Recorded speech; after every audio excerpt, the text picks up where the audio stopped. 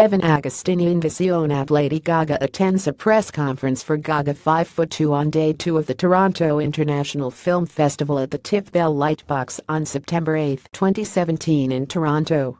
Lady Gaga shared good news about her health, assuring concerned fans that her condition is improving in a tweet early Saturday morning September 30.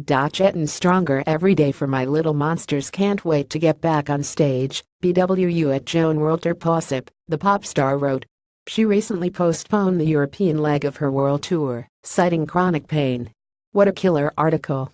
Jetting stronger every day for my little monsters can't wait to get back on stage. BWU at Joan World Tour Possip https t.cop37b7dm8wc. Zoxo, Gaga and Lady Gaga September 30, 2017 On September 18, promoters Live Nation announced Lady Gaga is suffering from severe physical pain that has impacted her ability to perform.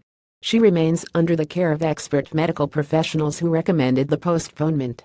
Gaga herself shared on Instagram as I get stronger, and when I feel ready, I will tell my story in more depth and plan to take this on strongly so I can not only raise awareness but expand research for others who suffer as I do so I can help make a difference, she wrote. In her recently released Netflix documentary, 5 Foot 2, the singer reveals she has the chronic pain disorder fibromyalgia. On its opening trek through the US and Canada, the Joanne World Tour topped $52 million in ticket sales at 20 sold-out concerts, Live Nation reported. As of now, a second jaunt through North America set to begin in early November is still on the books. Plans have been announced to reschedule the European concerts for 2018.